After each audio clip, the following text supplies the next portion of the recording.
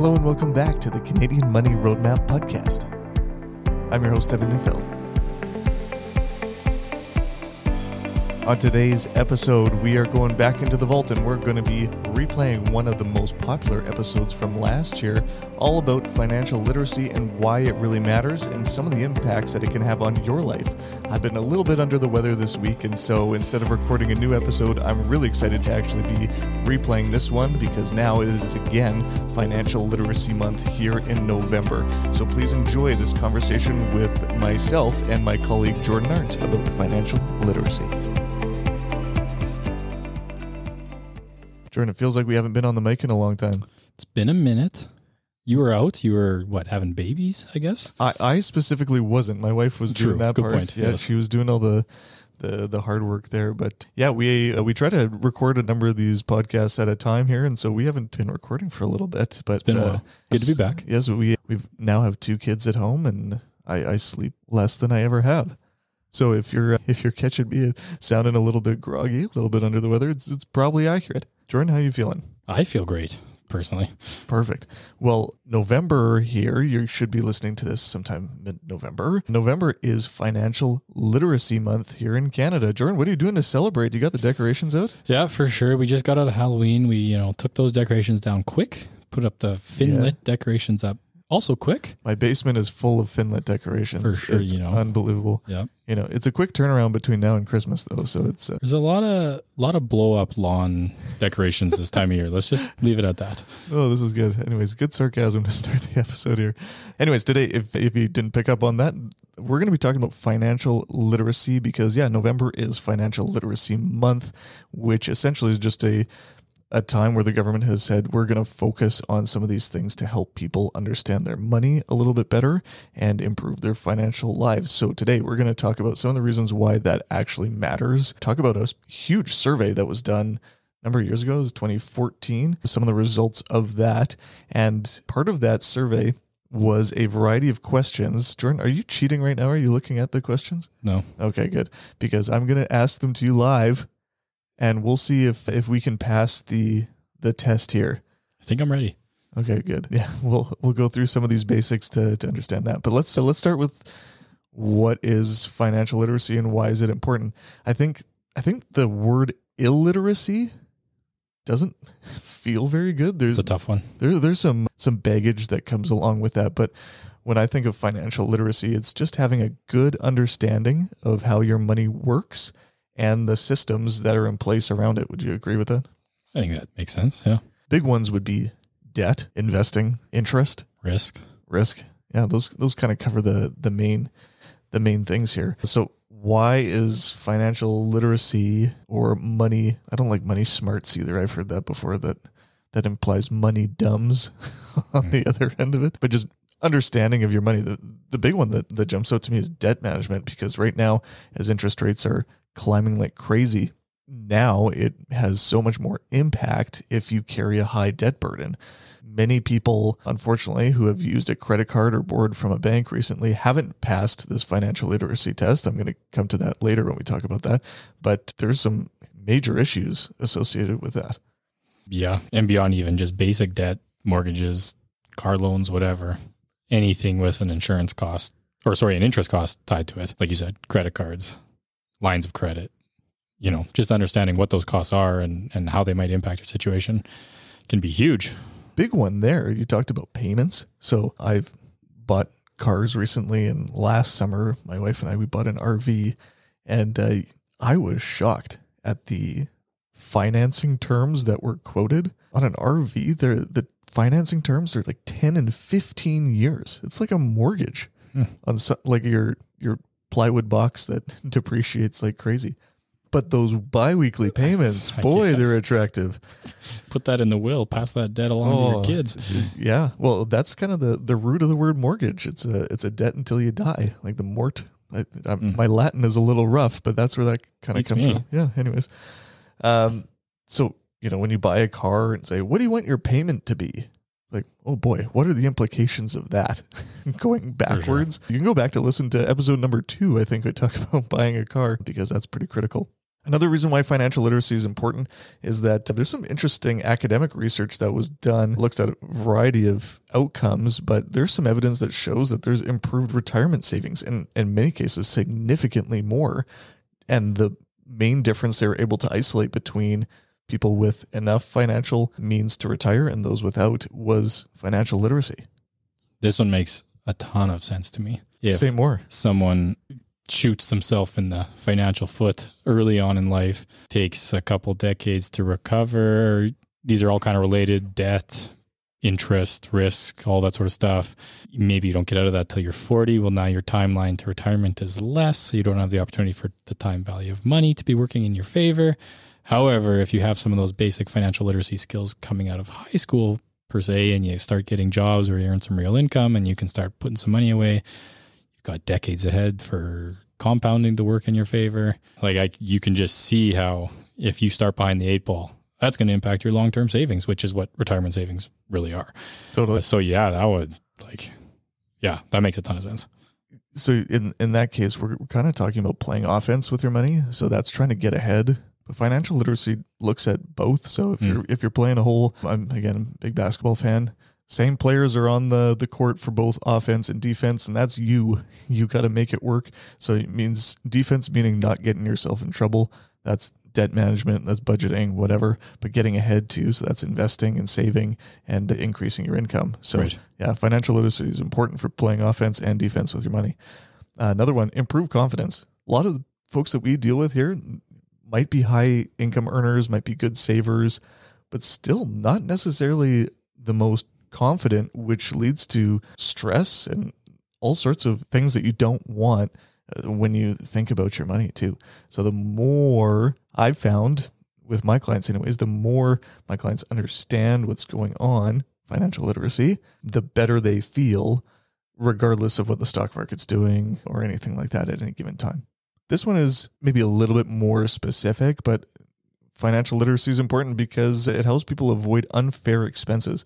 So think of like payday loans. I might get some Very expensive. I might get some eye rolls from people that are listening. It's like, that's not important to me. It's like, boy, it's important for a lot of people. So maybe you know somebody that's using these things and thinks it's a good deal or something like that. They are extremely expensive. And even just a basic level of financial literacy and understanding could help avoid some of those major financial mistakes. Last one that I think is really important is that it gives you less exposure to scams and just regular financial garbage that you see. I might lose some subscribers here, Jordan, but I, I think a cryptocurrency might be adjacent here. Maybe not a scam, but something that if it sounds too good to be true, it probably is kind of thing. Interesting thing about the data around the people that are more likely to participate in cryptocurrencies and other related types of speculative investments males with high levels of income and low financial literacy. What do you think? Have you seen any of that in your life? I think, yeah, I think that, That I tracks. think we can, yeah. Yeah. Yes. okay, so let's take a look at some of the research that's been done on on this topic. So S&P, so you might have heard of S&P or Standard & Poor's through the S&P 500. They are a global ratings agency. Just think of them as a financial institution and they wanted to have a better understanding of global financial literacy. So they paired up with a number of other institutions to see how good or how bad financial literacy was around the world. So back in 2014, they looked at 140 countries and 150,000 people and they performed this survey. Let's talk about some of the results first and then we can we'll put Jordan to the test here. And uh, I think I I have good faith, Jordan. I think you're going to pass personally. Find out. However, we'll break down the answers here and explain why some might be right and some might be wrong. Okay. So, Canada. Jordan, where do you think Canada falls on financially literate countries in the world? I would think we're going to be pretty high, to be honest. Pretty high. Here we go. We would fall probably about as high as it gets. So, the highest range, I think, got to 71% of the population of that country being financially literate. I think we fell at 68%. Pretty good. Let's call this good news, bad news. Good news is we're probably the highest. Bad Nice to news see is, that 100. bad news is only two out of three people are actually financially literate. we've got some Could work to higher. do. We got some work to do there. Yeah. So, you know, you might expect that higher income countries would typically be more financially literate. That's not always the case, to be honest. We look around the world, Canada, the US, UK, and Australia are near the top, but the drop off from there is pretty significant. I'm not going to spend too much time there. Around the world, the average actually comes out to only a third. So 33% of adults worldwide are financially literate. So compared to the rest of the world, we're actually quite high. Now, when we look at the different concepts that people struggle with and, and are really strong with, the ones that people do the best with around the world are numeracy. So that's just understanding the concept of interest and inflation. They're the most understood concepts. My theory on that, and maybe they have that in the full breakdown of the of the survey, is that a lot of countries outside of North America, yes, we're dealing with inflation a lot right now. When the survey was done, we weren't. weren't. However, other parts of the world have struggled with inflation for a long time, so they are painfully aware of it. Even if our inflation was averaging what one and a half, less than two percent for the last decade or so. So to me, that makes good sense that inflation and interest uh, would be understood there. However, the least understood concept is risk diversification Hmm. globally. Interesting. Very interesting to me. Okay, let's maybe go into asking these questions here and we can give you the answers as we go. Live. Jordan, you ready? I think I'm ready. I can turn my computer around. I think I'm ready. Okay, this was from the S&P Global Financial Literacy Survey. These were the questions that were asked. There was only there's 5 questions under 4 categories. And you pass if you get the answers right in 3 out of 4 categories. Fair enough. Yep. Let's start with risk diversification. The hardest one. Yeah, the hardest one. Bring it. So if you get this one right, you know you're good. Okay, number one. Jordan, let's suppose you have some money. Suppose you have some money. Is it safer to put your money into one business or investment or to put your money into multiple businesses or investments? I believe that it'd be safer to put my money into multiple businesses or investments. Final answer. That is correct. Yes. The answer is multiple businesses. And again, this is the question that most people, including here in Canada, got wrong the most. This is great because we just did an episode about single points of failure recently, which touches on this concept. Yes, yes. So th- this is the basic idea of diversification. I like to use an example. Maybe m- people don't really remember this one, but back in the early 2000s, Enron was one of the largest companies in the world. Turns out they were a massive accounting fraud and the company went to zero. So let's say hypothetically you had all your money invested in Enron stock and it went to zero over the course of three months or whatever it was. You now have nothing. Let's call that unlimited risk. okay. So you went from one of the best performing stocks in the world to nothing. However, what if you only had half your money in Enron stock and half of it in Apple? Well, right around that time, Apple released a little product called the. Do you remember? Xbox. Don't do that to me. No, no, no. The I it's got to be an iPhone. no, the iPod. iPod. The iPod was in 2001. Yeah. So the iPod came first, and it was kind of a prestige product. And it's like, whoa, what's this Apple company? And Steve Jobs came back not too long before that, and and things like that. But what if you had half of your money in Enron stock and half of your money in Apple stock? Well, today, Well, we're still only lose half. there we go. Sure. Let's just hypothetically lose half of it. That's diversification. So you were able to diversify away that risk of one company going to zero.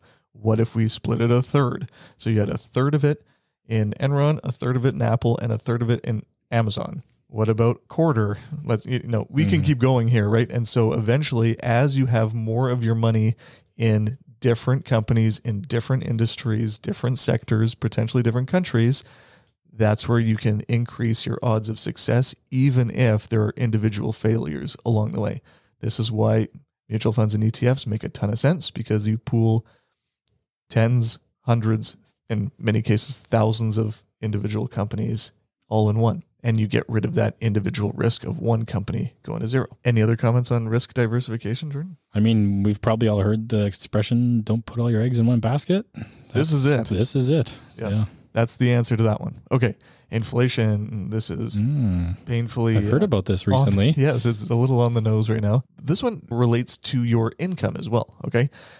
Question Suppose over the next 10 years, the prices of things you buy double. If your income also doubles, will you able to buy less than you can buy today, the same as you can buy today, or more than you can buy today? If my income's going up at the same rate as what I want to buy is going up, I think I'd be able to buy the same amount today as the future. That is correct. Yes, absolutely. So this looks at inflation, but also the pesky math of percentages. I could probably do a whole episode on that and how percentages can kind of mess with your mind. But essentially, let's just use a hypothetical here. So if what you buy costs $20,000 a year now, 10 years from now it costs 40, but your income goes from 50 to 100, the ratio between the two stays the same. So you should be able to buy exactly the same as what you could before. Pretty straightforward. Okay, now let's look at what they call numeracy or interest. No trick questions here. These aren't not intentionally trying to trick anybody. Suppose you need to borrow a hundred, they say US dollars. I'm gonna turn it on its head here. You need to borrow hundred Canadian dollars. Mm. Oh, oh boy. You're borrowing a $100. What is the lower amount to pay back? Okay. What is the lower amount to pay back from these two options? Option one, a $105. Or option two, a $100 plus 3%. Option two. That is correct. Yes. Okay. Interest is often stated as a percentage. The nice thing about this question is that a percent is a number related to a hundred. So if it's three percent on a hundred bucks, that's three dollars. In this case, Less 100 than 105. 103 is less than 105. They could have made these questions harder, I think. However, it's good to have that basic understanding. So 20% interest, $120. Quite a bit more. Okay. So that's basic interest. Now, the final set of questions here, there's two questions in this one, similar, but it's about compound interest. Okay. Question Suppose you put money in the bank for two years and the bank agrees to add 15% per year to your account. Boy, that would be Wow. nice. 15% per year. And then this is two years again. Will the bank add more money to your account in the second year than it did in the first year? Or will it add the same amount of money both years? More. That is correct. They will add more. And let's break that down. Because in the first year, so let's let's go back to this hundred dollar example here. Mhm. So you have a hundred bucks in there and they're gonna pay you fifteen percent per year. So in the first year, you have you put in a hundred, at the end of the year, you have 115. Mhm. Second year, they're going to give me another 15%, but on my $115 now, not my $100. That is correct. Yeah. And so 15% on 115 is actually 1725. I didn't do that math in my head. That's These are tricky numbers now. Yeah, now we're dealing with tricky numbers, but the the important thing is the concept is that your second year is interest on top of the interest. That's compound interest. And this is why I think the one that made the most sense, like why financial literacy is important. One of the reasons was increased retirement savings. Like this is it. If your money can compound at whatever rate of return you think you can get, doesn't matter. If it can compound for more years at that, you will have more money than if you have less years for that to compound. Let's go to an, the last question here. You've already passed, by the way. This is spectacular. I was kind of nervous I'd be nervous for sure. doing, a, doing a financial podcast, and uh, For you, sure. you might not even be financially literate. okay, last one. Suppose you had hundred dollars in a savings account, and the bank adds ten percent per year to the account. What a loser bank this one is. Ten percent per year to the account. How much money would you have in the account after five years if you did not remove any money from the account? Okay, ten percent per year, five years. Would you have more than $150, exactly 150, or less than 150? More. You would have more, exactly. So say it's what we call simple interest, and you're just adding 10% per year for five years. Well, that that's 50 bucks. So you'd have at least 150. However, again, in that first year, you'd have 110, and then you'd have your interest on top of that one. And then again and again and again. So in your last year, you actually have $161.05. Not bad. Not bad. I, I would say that's even better than 150. That's for sure. About eleven dollars better. Awesome. Okay, so now, listeners, if you have followed along with those questions, hopefully they sounded basic to you, but maybe that gives you a good understanding of what level of financial literacy that the world is at. If you know somebody in your life and you want to share this podcast with them, feel free. Test your test your knowledge. The government of Canada actually has a different test on their site. It covers off a lot of other things, but I think this one is probably the most instructive for just basic concepts. But yeah, if if you're able to answer those questions accurately about risk, diversification, inflation, interest, and compound interest, I you're probably in good shape. Also, if you've been listening to the Canadian Money Roadmap for two years, I hope you're probably in, in better shape than the average bear too. Finally, the thing that I'm going to mention here is uh, some some resources from the government of Canada because it is our financial literacy month in the US. I think theirs is in April, so you might hear about this again in a few months if you follow any American planners or podcasts or things like that. But I will have a link in the show notes here to our resources for Financial Literacy Month, which includes a financial goal calculator, budget planner, mortgage calculator, a number of resources for how to manage, manage money when interest rates rise, making a plan to pay off your debt, what to consider before borrowing money, knowing your rights when borrowing money. That's a good thing to know about. Debt management options, all sorts of other things on here. Great resources to use, especially if you're just getting started and you need some help with those kind of things. Listen to some former episodes of our podcast too. There's we touch on a number of these topics in uh, a lot more detail going back, but I think this is good to talk about today. Any final thoughts about financial literacy, Jordan? I don't think so. It's important though. Like these concepts, hopefully everyone's kind of heard of them at least a little bit. You know, we're not getting into the nitty gritty weeds here of of finances, but a basic understanding of these things can go a long ways to, to increasing your success over the long term. Everybody's got to start somewhere, and uh, ticking off these boxes at the very beginning, I think, is really important. So, thanks for taking the time to listen. If you found this interesting, feel free to send us an email at hello at evanneufeld.com.